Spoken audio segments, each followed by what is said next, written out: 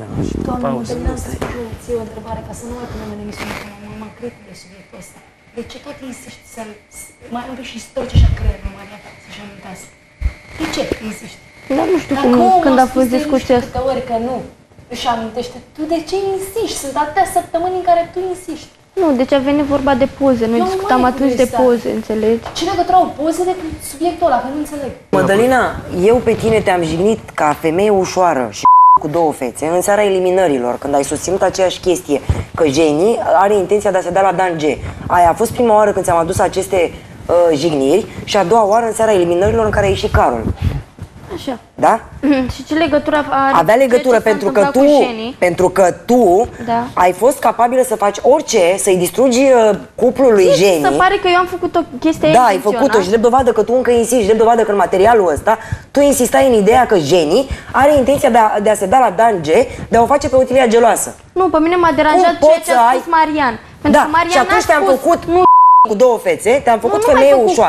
cu două fete. două mai făcut fețe. Penală, Nu, afară. penală nu. te-am făcut acum. Nu, mai făcut atunci. Nu, acum te-am făcut penală. Atunci te-am făcut nenorocită și cu două fețe. În fine, știi ce, oricum sunt niște jigniri Da? mult prea Deci de grave două pentru ori în ceea acest ce s-a concurs eu întâmplat. ți-am adus aceste jigniri. Daniela, și dacă tot am încercat eu să-i distrug ei relația, da? Da. De când am venit în casă, tu tot te insisti că ba cu Dani, ba cu Marian, Păi ba nu, Dani i-ai spus oare ce se ascunde, oare ce Nu cumva i-am se ascunde spus în niciodată chiloții lui? așa ceva și chiar dacă i-ai Ce spus femeie ar asta, face nu- chestia asta? Nu i-am spus tu, înțelegi că n-am spus așa ceva, nu știu de unde ați auzit voi.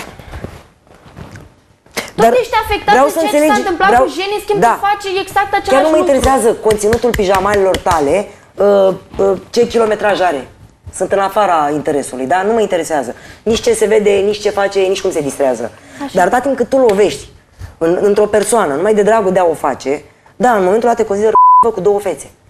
Crezi ce vrei, Daniela? Da? Iar eu în acest concurs te-am jignit atunci, la acea seară la eliminărilor și a doua oară în seara în care a ieșit Carol. De două ori, da? Ca să nu te mai spargi tu în camere că o fac uh, zilnic și uh, nu știu cum. De două ori ți-am adus aceste jigniri și ți le-am adus fondate. Da, că s-a terminat extraordinar de fondate chiar. Și eu am suficiente motive și totuși nu te-am jignit niciodată, crede.